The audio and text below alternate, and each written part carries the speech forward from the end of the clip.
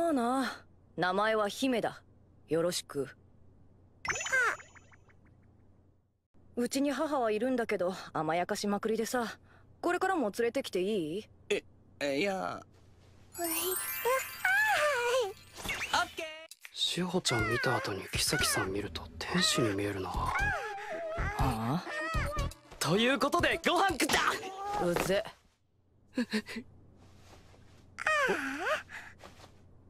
姫ちゃん。じゃあ姫ちゃんでいい。何かください。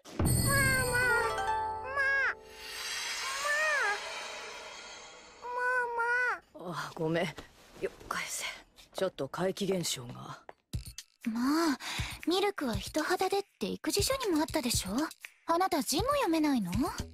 嫌だわ。これが離乳食何でも柔らかくすればいいってものじゃないのよ。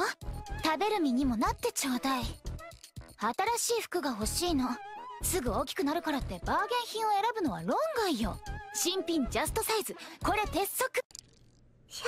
それにしても姫ちゃん成長したね。立てるようになったしちょっと言葉も覚えたし。酒井さその言葉特にはっきり言うね。んお金。